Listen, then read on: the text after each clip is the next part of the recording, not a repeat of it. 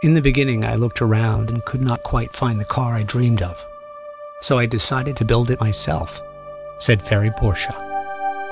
And that's exactly what he did 70 years ago. How? With a vision, with determination, but most of all, with passion.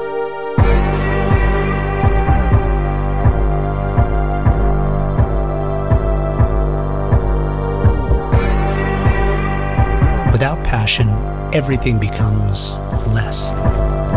Spirit becomes spiritless. Love becomes loveless. And meaningful, meaningless.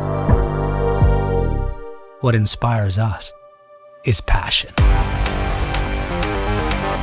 It's passion that makes us aim for first, never second.